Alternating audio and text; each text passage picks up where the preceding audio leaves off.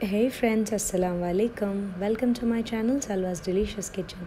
I'm back again with another interesting recipe of fish masala fry. I'm sure people from Mangalore or the coastal sides will love this recipe, but would also request the non-Mangaloreans to do give a try on this recipe. I'm sure you people will love it. Here are the ingredients what I've taken to grind the chili paste.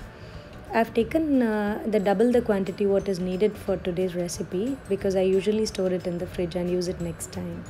Here I've taken 30 red chilies, one uh, large uh, size of a lime soaked in water, I mean tamarind soaked in water, two cloves of garlic and half teaspoon of turmeric powder. In a mixer jar, I added all the ingredients and uh, with one cup of water you can grind it to a very fine paste. You can also use more water if required. Just make sure it uh, turns to be very fine. Here are the ingredients what is needed to make the masala fry. I have taken around 5 tablespoons full of uh, red chili paste one medium tomato coriander leaves for garnishing two crushed garlic pods handful of curry leaves 4 tablespoons of uh, coconut oil salt according to your taste and uh, this is around 600 grams of two pound pomfrets but you can see how did i cut it. It's whole just like uh, slits on the stomach to clean it. In a pan in a non-stick pan i've taken the coconut oil. Once it was hot i added uh, the crushed garlic and handful of curry leaves along with the tomatoes chopped sliced tomatoes. Mix it well fry it on a medium flame. Uh, add the salt keep uh, just uh, mixing it. Once you see the tomatoes are uh, cooked you can add the red chili paste.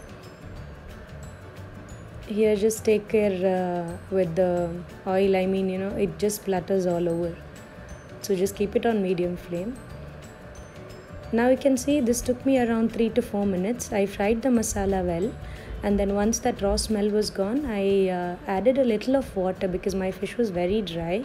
So i wanted uh, more masala to be coated for the fish. See i've uh, just filled the masala even inside the stomach of the fish so that uh, no place of the fish is left without the masala here this is my habit. This is not necessary actually. Just uh, sprinkle the chopped coriander leaves before flipping the fish. And i always use uh, a fork also. I mean just uh, with the two spoons i flip the fish so that uh, it doesn't uh, break.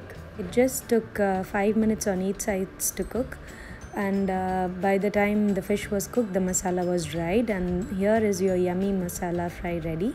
Do let me know in the comments below if you liked it or not. Do uh, like share and subscribe my channel for updates. Here are my extra points.